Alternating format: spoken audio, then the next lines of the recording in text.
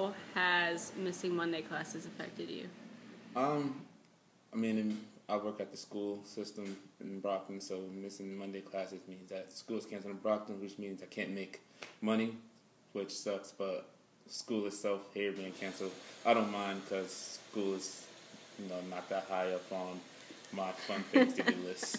It hasn't affected me at all because I don't have many classes, but it has helped me get uh, homework done in that free time.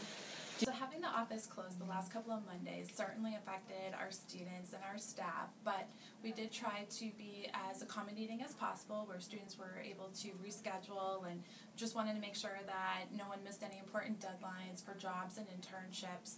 Um, we also had a couple of workshops and events that we invited employers to, but they were also really accommodating and were able to reschedule with us. So um, none of our students missed out on any activities, and now we're just trying to get through the rest of the semester, hopefully with no more snow.